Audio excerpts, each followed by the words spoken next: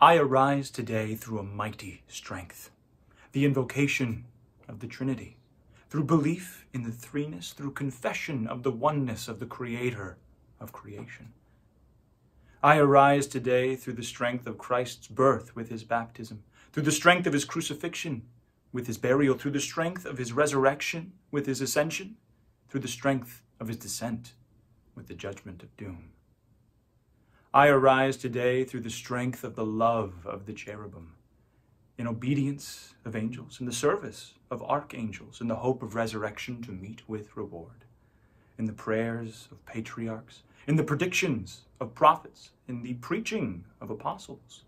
in the faith of confessors, in the innocence of holy virgins, in the deeds of righteous men. I arise today through the strength of heaven, the light of the sun, the radiance of the moon, the splendor of fire, the speed of lightning, the swiftness of wind, the depth of the sea,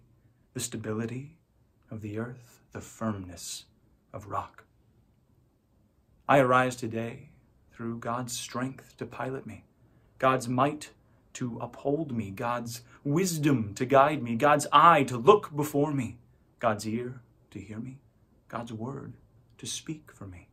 God's hand to guard me, God's shield to protect me, God's host to save me from snares of devils, from temptations of vices, from everyone who shall wish me ill, afar and near. I summon today all these powers between me and those evils, against every cruel and merciless power that may oppose my body and soul, against incantations of false prophets, against black laws of pagandom, against false laws of heretics, against craft of idolatry, against spells of witches, smiths, and, and wizards, against every knowledge that corrupts man's body and soul. Christ, shield me today against poison, against burning, against drowning, against wounding, so that there may come unto me an abundance of reward. Christ with me, Christ before me, Christ behind me, Christ in me, Christ beneath me, Christ above me, Christ on my right, Christ on my left, Christ when I lie down, Christ when I sit down, Christ when I arise, Christ in the heart of every mind that thinks of me, Christ in the mouth of every man that speaks of me, Christ in the eye of all who sees me, Christ in the ears of all who hear me.